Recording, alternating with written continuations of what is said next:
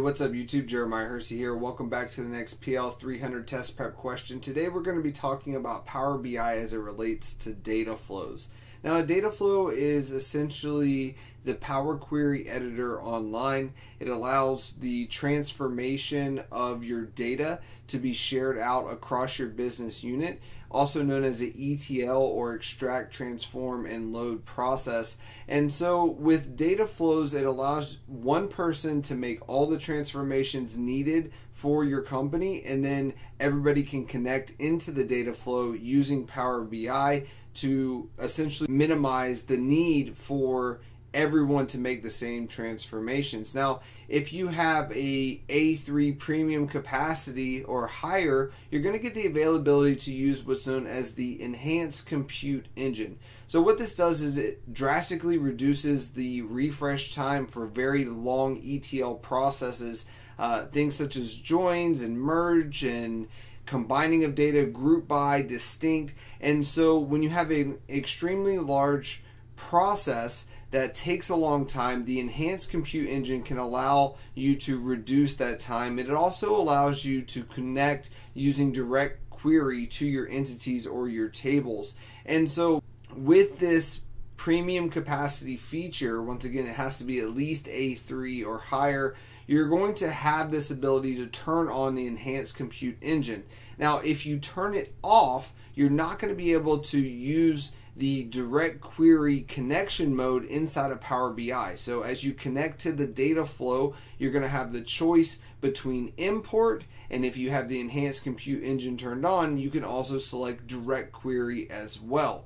Once again, the data flow is essentially the Power Query editor, but it's online. So it's going to take some online processing in order to make sure those transformations are done correctly and efficiently. So today we're going to be looking at a question relating to that. Let's go ahead and get started. A business intelligent or BI developer creates a data flow in Power BI that uses direct query to access tables from an on-premises Microsoft SQL server. The enhanced data flows compute engine is turned on for the data flow. You need to use the data flow in a report. The solution must meet the following requirements. Minimize online processing operation, minimize calculation times and render times for visuals, include data from the current year and up to and including the previous day. What should you do? So, as always, let's take a look at some of the important pieces of information here. The first one being that this is connecting to an on premise Microsoft SQL Server. So, what that tells us is that this is going to require a data gateway. So as the BI developer creates the data flow in order to take data that is on premises and move it to the cloud, we're going to need that data gateway, which essentially acts as a bridge to transfer our data.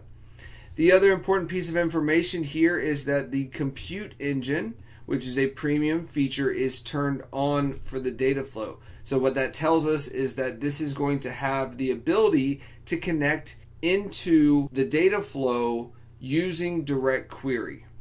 So when the compute engine is turned on, we can connect to the data flow using the direct query connection method inside of Power BI.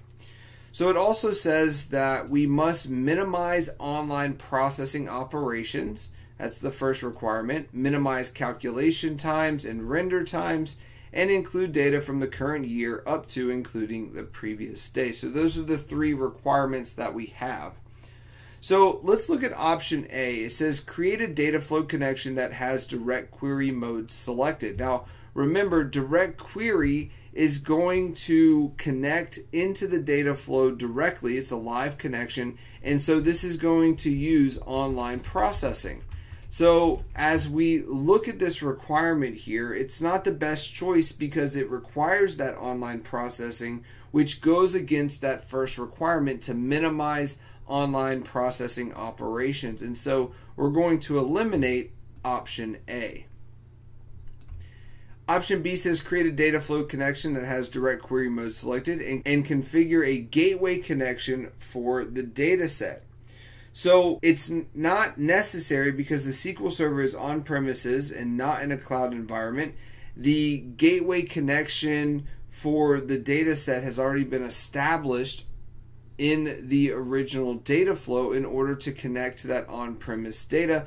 And once again, that direct query mode is going to use online processing. And so we want to minimize the online processing operations as part of the requirements. So we're going to go ahead and eliminate option B as well. Option C says create a data flows connection that has import mode selected and schedule a daily refresh. Now that's definitely a potential option, but let's look at option D. Create a data flows connection that has import mode selected, similar to C, and create a Microsoft Power Automate solution to refresh the data hourly. So this is the key difference here in option D is that we're going to create this Power Automate solution to refresh the data hourly. So if the data refreshes too frequently, this might lead to unnecessary processing operations, which once again goes against what our goal is. We want to minimize the online processing operations. And not only that, but it's refreshing hourly.